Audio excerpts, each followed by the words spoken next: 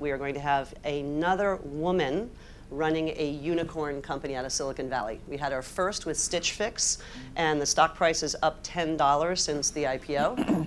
you heard it here. We're going to have another one, and I think this is going to be the year of women finally, finally getting access to funding in the venture capital world.